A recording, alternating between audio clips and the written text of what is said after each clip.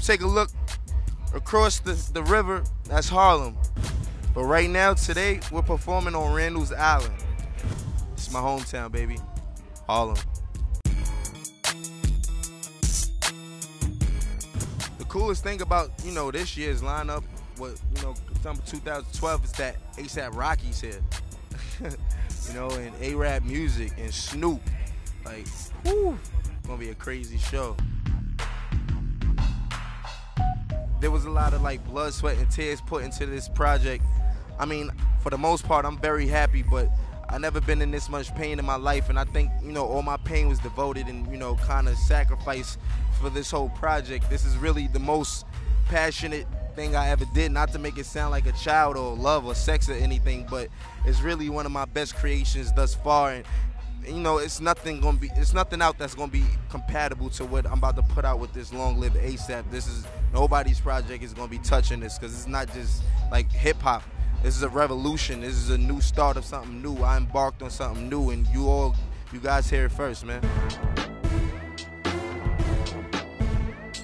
ASAP Mob, ASAP Yams, Bryan Leach, uh, Chase Infinite, Geno Sims, just the family. We kept it like that. That's who really helped me with this right here. And I mean, personally, man, like I don't really know if the world is ready for what I'm about to give them, man. It's like that next shit, man. We we releasing the ASAP Mob album in a week from now. It's gonna be crazy cause like on some trail shit, bruh, bruh. Ain't nobody, they don't really know what, you know, the whole ASAP mob is capable of. They know about ASAP Rocky, but they don't know about that Nast. They don't know about ASAP Nast. They don't know about Ferg, the Fergenstein, ASAP Ferg. They don't know about the Good Goon. You know what I mean? He calls himself the gorgeous motherfucker. ASAP Twelvy, you know what I'm saying? Then with ASAP Ty Beats got the offer. He did Purple Swag Pesos.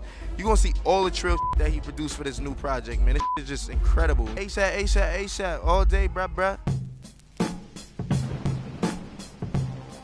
I'm working on a documentary for London. It's gonna come on the news. Um, primetime television in London. They support me. I love London. And shout outs to Dizzee Rascal. Shout outs to Piff Gang Trap and Trap Stars. And shout outs to the whole UK, bruh, bruh. That photo shoot was cool because I was just, I had a handful of and shit. So, you know, the Long Live ASAP poster just shows me groping a girl in a non-perverted way. Shout outs to her. She's really cool. Her name's Mars. And um, me, it was just an imitation of ODB. You know, he did the same thing. And we wanted to reenact that with the poster. That came out dope as It's a new day. We got underground artists. We got Danny Brown, the new old dirty bastard. We got Schoolboy Q. I mean, this guy's just the truth.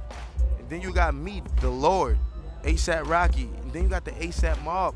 A bunch of young cats on the come up. And it's beautiful. If you into some punk rock, you gonna f- with us. If you into some backpack, you gonna f- with us. If you into some old school 90s, you gonna f- with us. If you into some gnarly mother melodic, you gonna f- with us. And that's all that matter, mother. Straight up.